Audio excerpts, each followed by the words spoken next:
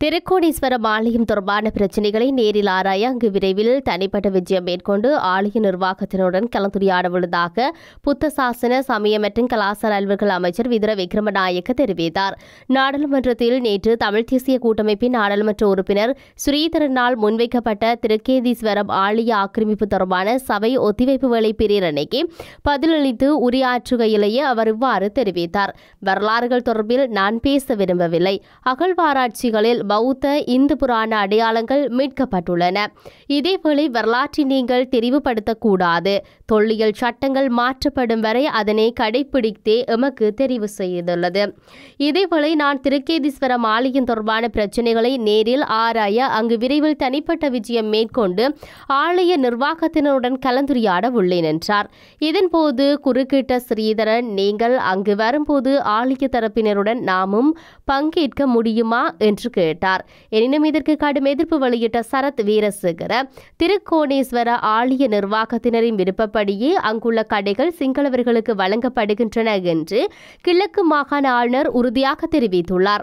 ஆலய நிர்வாகமே அதனை விரும்பியுள்ள நிலையில் அந்த சந்திப்பில் தமிழ் தேசிய கூட்டமைப்பினரை அனுமதிக்க கூடாது. இவர்கள் குழப்பங்களை ஏற்படுத்தவே செய்வாரர் என்றார். தமது உரையை தொடர்ந்த அமைச்சர் விதுர விக்ரம நாயக்க இந்த பிரச்சினை சிக்கலானது. எனவே நான் இதனை பேசி தீர்ப்பேன் என்றும் அவர் தெரிவித்துள்ளார். இதேவேளை இலங்கையில் ராவணனும் இதேவேளை இலங்கையில் ராவணன் என்ற மன்னனும் இல்லை சிவ வழிபாடும் கிடையாது என பொதுமக்கள் பாதுகாப்பு அமைச்சர் சரத் வீரசிகர தெரிவித்துள்ளார். நாடாளுமன்றத்தில் நேற்று நடைபெற்ற திருக்கேதீஸ்வர ஆலய ஆக்கிரமிப்பு தொடர்பான சபை ஒத்திவைப்பு வேலை விவாதத்தில் உரையாற்றும் போது அவர் இதனை கூறினார். திருக்கேதீஸ்வரம் ஆலயத்தில் உள்ள கடைகளை சிங்களவர்களுக்கு கொடுப்பதற்கு ஆலய பரிபாலன சபையை விரும்பும் நிலையில் தமிழ் தேசிய கூட்டமைப்பு நாடாளுமன்ற உறுப்பினர்கள் மட்டும் எதிர்ப்பது அவர்களின் அரசியல் ஆதாயத்துக்கு எனவும் அவர் கூறினார்.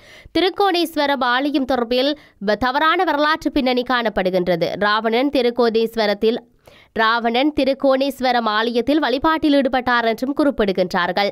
ஆனால் ராவணன் என்ற மன்னன் இருந்தாரா? அவர் தமிழரா? சிவ வழிபாட்டில் ஈடுபட்டாரா என்பதற்கு எவ்வித சான்றுகளும் வரலாறுகளும் இல்லை.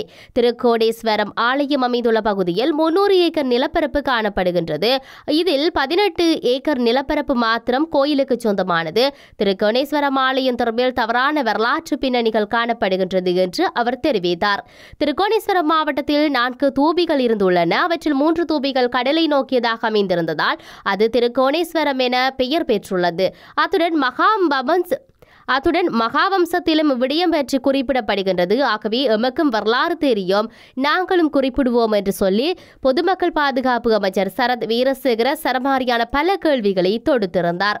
இந்த பின்னணியில் தான் நாடாளுமன்றத்தில் நேற்று திருகோணமலை கோணேஸ்வரன் தொடர்பான சபை ஒத்திவைப்பு வேலை பிரேரணை சமர்ப்பித்து உரையாற்றும் போதே ஸ்ரீதரனால் இந்த தேவாரம் பாடப்பட்டிருந்தது. தனது உரையை ஆரம்பிக்க முன்னர் தோருடைய சிவனே போற்றி எட் நாட்கிற்கும் இறைவா போற்றி என்ற மாணிக்கவாசரின் அருள்வாசகத்தை குறிப்பிட்ட பின்னரே நிறைகடல் அருவம் சிலம்பு ஒளி அலம்பும் நிமலர் நீரு அணி திருமேனி என்ற திருக்கோணேஸ்வரர் ஆலய தொடர்பான தேவாரத்தை உரத்தி பாடிவிட்டு திருக்கோணேஸ்வரர் ஆலயத்தின் வரலாறு அங்கு தற்போது இடம்பெற்றும் ஆக்கிரமிப்புகள் தொடர்பில் மிகவும் ஆவேசமான நிலையில் நீண்ட உரையினை ஸ்ரீதரன் ஆற்றியிருந்தார்.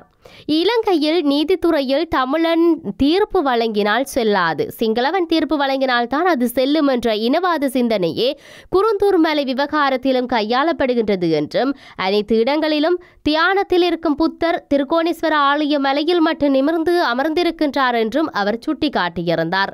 இவ்வாறு பல பிரச்சனைகள் நாடாளுமன்றத்தில் காரசாரமான விவாதத்தில் இடம்பெற்றுக் கொண்டிருந்தாலும் நாட்டு நிலைமையில் இராணுவத்தினர் களமிறக்கப்பட வேண்டும் சட்டம் ஒழுங்கை பாதுகாக்கப்பட வேண்டும் என்று சொல்லி என்னமொரு செயற்பாடு இடம்பெற்றுக் கொண்டிருக்கின்றது. இந்நிலையில் இலங்கையில் சட்டம் ஒழுங்கை நிலைநாட்டுவதற்கு என தெரிவித்து மீண்டும் இராணுவத்தினர் களமிறக்கப்பட்டுள்ளனர். ஜனாதிபதி ரணில் விக்ரமசிங்கவினால் வெளியிடப்பட்ட வர்த்தமானி அறிவித்தலினூடாக இந்த அறிவிப்பு நடைமுறைக்கு வந்திருக்கின்றது. ஜனாதிபதி ரணில் விக்ரமசிங்கவினால் வெளியிடப்பட்ட வர்த்தமானி அறிவித்தலினூடாக சட்டம் ஒழுங்கை நிலைநாட்டுவதற்காக மீண்டும் ராணுவத்தினர் களமிறங்கப்பட்டுள்ளதாக தெரிவிக்கப்படுகின்றது. இந்நிலையில் இன்று முதல் நடைமுறைக்கு வரும் வகையில் நாட்டின் பொது ஒழுங்கை பேணுவதற்காக அனைத்து ஆயுதமேந்திய படையினருக்கும் அழைப்பு விடுக்கப்பட்டுள்ளது.